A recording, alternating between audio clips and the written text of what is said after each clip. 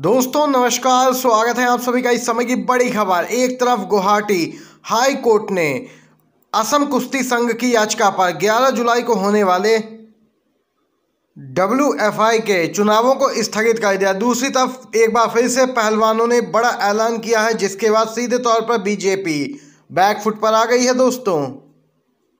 प्रदर्शनकारी पहलवानों का बड़ा ऐलान, कहा ब्रजभूषण के खिलाफ आप सड़कों पर नहीं, कोर्ट में लड़ेंगे, जारी रहेगा संघर्ष।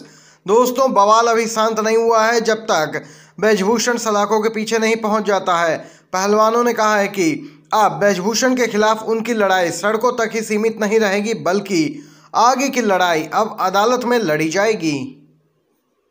दोस्तों, दिल्ली पुलिस द्वारा जाँच पूरी करने के बाद 15 जून को अदालत में आरोप पत्र पेश किया गया था वहीं अब एम पी कोर्ट में 27 जून को ब्रजभूषण के खिलाफ मामले की सुनवाई होनी है। उससे पहले पहलवानों का ये बड़ा ऐलान, दोस्तों।